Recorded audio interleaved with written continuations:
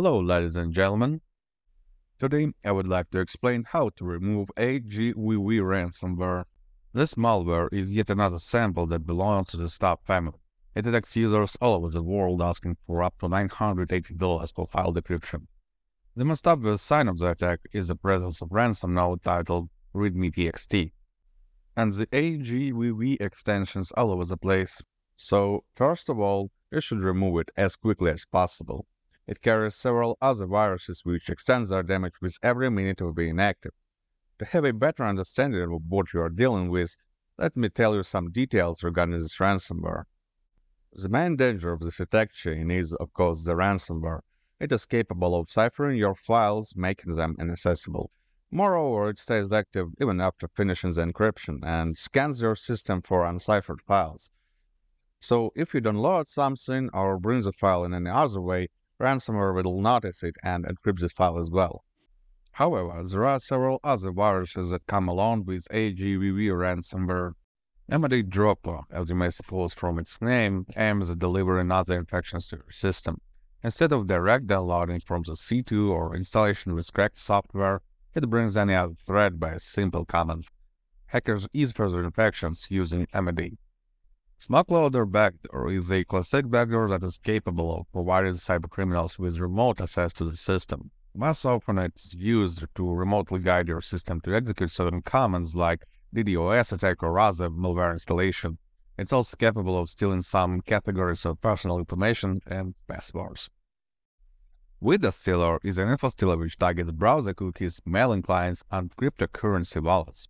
It is a hit-and-run malware which performs self-removal as soon as all routine operations for data gathering are completed.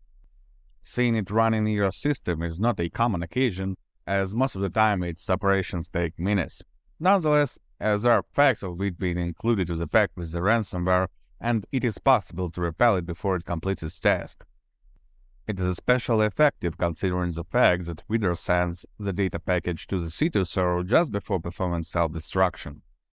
Before performing any data recovery, you should clean your device. Otherwise, your recovered files will be ciphered back and additional malware will be able to get your sensitive data all this time. I'd recommend you to use GridinSoft anti-malware for the purpose. Let's download, install, and run it. By the way, I have a 15% discount promo link for this program. You'll find it in the description. And meanwhile, I will tell you a couple of things regarding data recovery. First of all, any stop ransomware sample ciphers only 150 kilobytes of data at the file's beginning. For documents and photos of typical sites, it is critical. They are getting entirely encrypted. But for larger things, especially for music files and video, not all is lost. Some pictures and other files that are over several megabytes large can be restored or even accessed without any decryption. Using specific software like the good old Winamp, for example, you can open files almost flawlessly. Just remove the ransomware extension and give it a try. Another piece of good news is that this ransomware becomes quite lazy when it comes to ciphering exceptionally big things. And the big things, I mean ones of over a gigabyte size. Keeping such large things on your disk is not a common occasion, but if you have one and it has this nasty extension at the end, Try to remove the excessive sin and open it as usual. There is a large probability that you will succeed. Now let's discuss a more problematic side, file decryption. I recommend using the Emsisoft Decryptor tool. It's a free software that is designed specifically to deal with encryption used by Stop ransomware.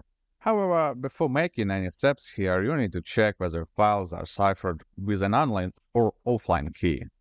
To check the key type, go to the System ID folder in your system directory and find their personal ID.txt file. This folder and all entries in it are created by ransomware in the process of encryption to store some details regarding the attacked system.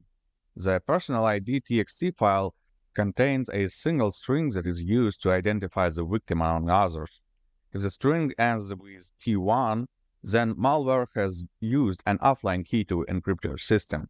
Any other endings of the string means they use an open online key. The other sign of online key usage is the presence of this strangely named txt file in the same folder.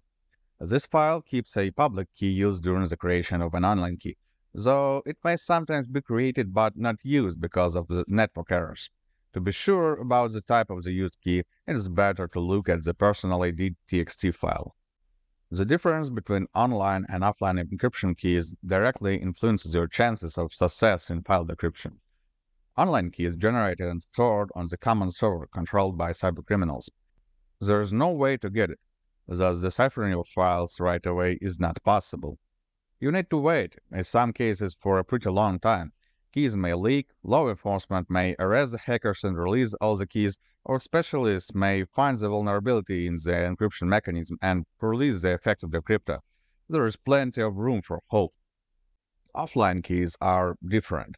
There's only one offline key used for all victims of a specific sample. That gives you much bigger chances to get your files back. You may need to wait a bit before the key will be discovered, but it takes much less time than in the case of an online key.